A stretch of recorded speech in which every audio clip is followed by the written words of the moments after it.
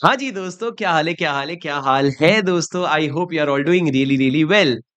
Good evening and welcome to today's video. आज 25th को बहुत सारे बच्चों का फ़र्स्ट अटेम्प्ट था जहाँ पे उन्होंने कुछ बच्चों ने जाके एसपीओएम का पेपर लिखा। मेरी बच्चों से बात हुई जिन्होंने सेट ए लिखा, सेट बी के बच्चों से मैंने बात नहीं करी। शायद आप लोगों को सेट बी के लिए आपको अ, ये वीडियो हेल्प नहीं कर पाएगा, पर सेट ए के लिए मैं ज़रूर आपकी कुछ हेल्प कर सकता हूँ। मैं आपको कुछ मैंने एक्चुअली बात करी टेलीग्राम पे तो बहुत सारे बच्चों के इनपुट्स आए पर मैंने बात करी दो बच्चों से। एक जिसने पूरा-पूरा बिना पढ़े तुक्का मार के जाके पेपर लिख के आया और एक बच्चा जो पूरा पढ़ के गया था ढंग से पूरे 75 आवर्स की क्लास करी, पिछले 10 दिन की मेहनत करी और उसके बाद उसने जाके पेपर लिखा। जो जिसने 10 दिन पढ़ाई करी थी उसको आए 76 मार्क्स आउट ऑफ़ टोटल 100 और जिसने तुक्का मार के गया था वो भी बेचारा 48 आ गया। पर प्रॉब्लम ये ये हुई वही होता है ना कि हम मेहनत करते तो नसीब हमारा साथ देता है, मेहनत नहीं हुई थी इसलिए नसीब ने भी दो मार्क्स का साथ नहीं दिया पर ठीक है। उसको ये रियलाइज़ हो गया कि पेपर जो है ना, मैं आपको बहुत सारी चीज़ें बताऊँगा ध्यान से सुनना, पर मैं आपको एक डिस्क्लेमर दे देता हूँ, ठीक है? और मेरे साथ मेरे लाइव बच्चे जुड़े हुए हैं तो वो अग्री करेंगे जो मैं बोल रहा हूँ क्योंकि उनके साथ सामने हमने लाइव अभी पिछले 20 मिनट में बात की उनसे। मैं जो बताऊँगा ना ये बहुत कम सैंपल साइज़ का यू नो कंक्लूजन है, ठीक है? तो इसमें से बहुत सारी चीज़ें मेरी कंक्लूजन सही या गलत हो भी सकती है, पर आपको एक पर्सपेक्टिव मिल जाएगा something is better than nothing वाला हिसाब है और जो भी कंक्लूजन लिखे हैं वो आपके फेवर में ही काम करने वाले। जैसे कि क्या सर सबसे पहला वेटेज जो इंस्टीट्यूट ने दे रखा है वो वेटेज की इंस्टीट्यूट ने अच्छी खासी बैंड बजा दी। जैसे कि इन्होंने वाइंडिंग अप और वो दो मिसलेनियस चैप्टर और एडजुडिकेशन उसका वेटेज दे रखा है 35 से 40% यानी कि लगभग-लगभग वो आपको ऐसा बताना चाह रहे हैं कि करीबन आपको 15 से 20 मार्क्स वहाँ पे देखने के लिए मिल सकते हैं पर उसमें से आपका वेटेज वाइंडिंग अप का आया था आठ मार्क्स एक जना कहता है और एक जन वही जना कहता है कि बाकी मिसलेनियस से कोई क्वेश्चन ही नहीं आए। पर दूसरी तरफ़ एक इंसान कहता है कि मिसलेनियस से भी क्वेश्चन आए थे, वाइंडिंग अप से थोड़े बहुत आए थे और वो उसका वेटेज अच्छा खासा है। तो वेटेज का ना कोई भरोसा है ही नहीं। क्योंकि सर तुम ये समझ करके चलो कि 1 लाख क्वेश्चन या फिर तुम ऐसा समझ के चलो लॉजिकली पाँच पाँच हज़ार क्वेश्चन का एक पूल बन रखा है, पूल। तुम्हारा जब तुम पेपर लिखोगे ना तो आपका सिस्टम ऑटोमेटिकली उसमें से आपके लिए 50 एक क्वेश्चन जनरेट करने वाला है मतलब सिर्फ़ एक परसेंट क्वेश्चन उठने वाले हैं। तो कोई भी रैंडम क्वेश्चन उठेंगे, कोई भी रैंडम केस स्टडीज़ उठेगा, आपका बहुत ज़्यादा दिमाग आप लगा नहीं सकते। ठीक है? तो सर मेरे को बच्चों से ये बात करके समझ आई कि आपका कहीं ना कहीं प्रेपरेशन के साथ-साथ लक भी मैटर करता है कि मान लो अगर आपने डिसाइड किया सेबी रेगुलेशन छोड़ के जाऊँगा। तो सेबी रेगुलेशन से कितना वेटेज आएगा वो आपका लक डिसाइड करेगा। आज नहीं तो कल पास हो जाओगे वाला हिसाब है। उसमें इन्होंने ये समझ में आया बात करके कि 80 coverage percent coverage is good enough अगर आपका नसीब साथ देगा, तो आप 80% कवरेज में भी 80 मार्क्स ले आओगे। क्योंकि एक बात बताओ जो बंदा बिना पढ़े गया था, उसने तो पूरा तुक्का मारा ना, तुक्का मारा। उसको 15 से वो कहते हैं 15 मार्क्स का उसको या पंद्रह क्वेश्चन उसको आते थे, बाकी सब उसने तुक्का मारा। तो भैया उस केस में तो आप समझो कि आपका लक अगर आप कवरेज अच्छा करके जाओगे, तो आप सॉल्व कर लोगे, पर लक भी मैटर करता है।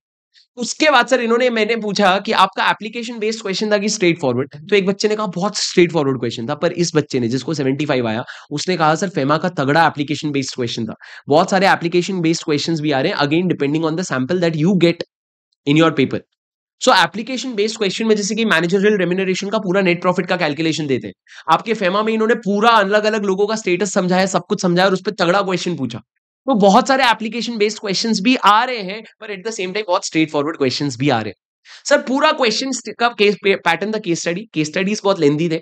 इंडिविजुअल एमसीक्यूज के क्वेश्चंस छोटे-छोटे थे और मज़े की बात ये पूरा केस स्टडी बगैर पढ़े भी आप एमसीक्यूज स्मार्टली सॉल्व कर सकते हो, तो आपका टाइम बहुत बचेगा। अब सर एक बच्चे ने कहा कि उसका पेपर एक जो तुक्का मार के आया, उसका एक घंटे में खत्म हो गया, पर जिसने ढंग से पेपर लिखा उसने कहा दो घंटे में पेपर एकदम आराम से खत्म हो जाएगा। पर प्रॉब्लम ये आप उठ के आ नहीं सकते। आपको पेपर एक्सट्रीमली लास्ट के 5 मिनट में ही सबमिट करना पड़ेगा, तो आपको वहीं पे चुपचाप बैठे रहना पड़ेगा और आप फ़ोन-वोन कुछ लेके ऑफ़ कोर्स नहीं जा सकते। फ़ोन छोड़ो, वो कह रहा था कि उसका बॉटल बाहर रखने के लिए कह दिया पानी का, क्योंकि ट्रांसपेरेंट बॉटल नहीं लेके आया था। कहते 5 मिनट तक मेरी चेकिंग हुई, पहले मशीन से चेक किया, फिर उसके बाद अ, हाथों से चेक किया।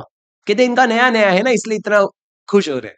तो ठीक है भैया, तुम लोगों के साथ भी ऐसा एक्सपीरियंस हो सकता है। Depends from city to city, place to place and the kind of people that you meet, right?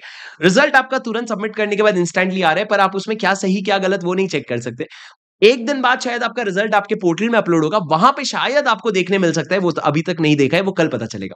Sir आज पता चला कि लोअर टर्नआउट था मतलब दस दस लोग जैसे एक स्टूडेंट ने कहा 12 लोग रजिस्टर कर रखे थे, उसमें से सिर्फ़ तीन लोग आए, बाकी नौ लोग आए नहीं। वो तीन लोग भी ऐसे थे, पापा ने बोला तू पैसा भर रखे जा पेपर लिख के आ जाओ ठीक है। और उसके बाद सर लास्ट में पेनल्टीज़ के क्वेश्चन नहीं आए पर सेबी के पेनल्टीज़ आ रहे हैं। सेबी से पेनल्टीज़ आ रहे हैं। वो तो पेनल्टीज़ के लिए इंपॉर्टेंट भी है, हम क्लास में वैसे कवर भी करेंगे। टाइम लिमिट्स पे क्वेश्चन आ रहे हैं सर ये आप लोगों को ध्यान रखना पड़ेगा कुछ टाइम लिमिट्स जैसे कि कितने दिन पहले नोटिस आना चाहिए क्या होना चाहिए ये सब पे क्वेश्चंस आ रहे हैं मतलब टाइम लिमिट्स पे क्वेश्चंस आ रहे हैं और सर एमसीक्यूज बच्चे एमसीक्यूज कितना प्रैक्टिस करके जाए तो राजा देखो। ऑनेस्टली बताऊँ ऑनेस्टली दिल से। एमसीक्यूज प्रैक्टिस करना आपकी हेल्प नहीं करेगा। क्योंकि जो आप एमसीक्यूज करके जाने वाले हो, वो वैसे भी नहीं आने वाला। और बहुत ज़्यादा ट्रिकी क्वेश्चंस भी नहीं आ रहे। ऐसा नहीं कि डायरेक्ट टैक्स है, जितने ज़्यादा किया उतना दिमाग खुला नहीं। एमसीक्यूज प्रैक्टिस करने से ज़्यादा फोकस आप कॉन्सेप्ट पे करो, क्योंकि कॉन्सेप्ट क्लियर होंगे ना तो पेपर निकाल लोगे। तो ये डिस्कशन के बाद ना आज मेरे को एक चीज़ समझ आ गई रजा। कि अगर आपको आपका पेपर सिक्स यानी कि आईबीएस से कोई लेना देना नहीं है, और अगर आप बहुत स्मार्ट हो मतलब आप थोड़ा सा, अगर एक होता है ना एवरेज या बिलो एवरेज स्टूडेंट हो तो आप लोगों ने ढंग से लॉ पढ़ के जाना चाहिए। आप लोगों को समझ के चलना पड़ेगा कि आपको लॉ के लिए एक सेल्फ पेस्ड ऑनलाइन मॉड्यूल के लिए टोटल क्लास हो गया, किसी और के लेक्चर हो गए, सब मिला करके आप एक बहुत सेफ़ प्रोविज़न सत्तर घंटे का बना के चलो। सब कुछ आ गया, इसमें आपकी क्लासेस आ गई, इसमें आईसीआई मॉड्यूल का आ गया, इसमें आपका खुद का पढ़ाई हो गया और इसमें टेस्ट आ गया, सत्तर से पचहत्तर घंटे। बट सर, अगर आपका पेपर सिक्स से भी कोई लेना देना नहीं है और आप बहुत स्मार्ट भी हो तो आप चुपचाप जाओ दो तीन दो दिन रिविजन वीडियो देखो दस बारह घंटे में ऊपर ऊपर से रिविजन वीडियो देखो, जाके तुक्का मारो दो तीन तुक्के में आप पास हो जाओगे। अगर आपको ये सब टाइम पास करना है, ठीक है? पर मेरे हिसाब से अभी मेरे लिए ये सेटिस्फैक्ट्री आंसर आया है कि एसपीओएम एक पूरा पूरा आपके लिए सत्तर घंटा और अगर आपका अटेम्प्ट एक डेढ़ साल, दो साल बाद है तो आप मान के चलो मैक्सिमम आपसे सौ घंटा मांगेगा और ये मैं सेट एक ही बात कर रहा हूँ, ये हम कंक्लूसिवली बोल सकते हैं और ये सौ घंटे में आप एक बार में ज़रूर पास हो जाओगे विद गुड स्कोर्स ठीक है? ये आप लोगों का सारा प्रोविज़न है। उसके अलावा मैं आप लोगों को और कुछ आपका अगर कमेंट पे आप, आपको कोई क्वेश्चन है तो आप नीचे कमेंट पे पूछ सकते हैं और उसका जवाब मैं बिल्कुल दूँगा। मेरे पास और तो कुछ फैक्ट्स नहीं है। मैंने सारे फैक्ट्स लिखे। मैंने सारी चीज़ें लिखी कि कौन से क्वेश्चन से आए थे कौन से नहीं आए थे बट ये सबसे कोई फ़र्क नहीं पड़ता क्योंकि हर पेपर चेंज होता है। ट्रांसपेरेंट बॉटल नहीं ले जाने दिया वो मेरे लिए बड़ा इंटरेस्टिंग था। उसको बहुत लेवल पे चेक किया। सर जो पचहत्तर घंटे पढ़ के गया था उसने बोला उसके उसके रूम में दस में से एक जन आए थे।